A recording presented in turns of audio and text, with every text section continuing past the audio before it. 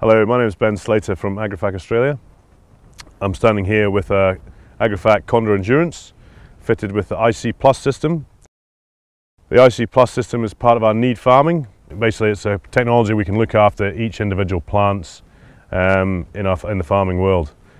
Um, the camera system is using RGB cameras and it allows us to recognize different weeds, crops, um, allows us to spray green on brown like in Australia here, we do a lot of um, summer spraying.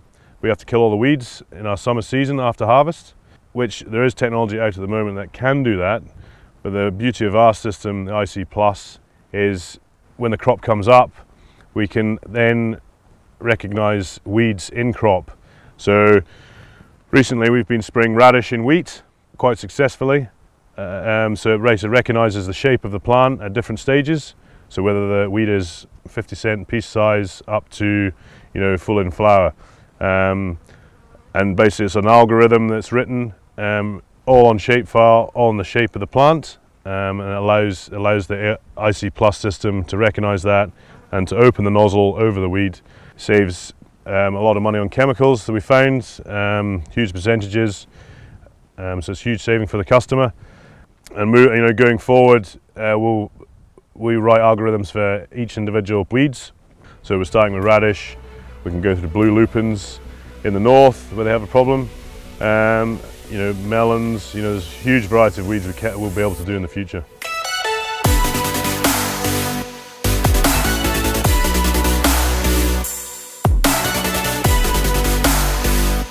One of the beauties with the AiCPlus system is, you know, that in Australia we don't have a lot of water. Um, a lot of farmers, you know, you see either off the shed, off the shed roofs uh, from bore water, and it's very limited here.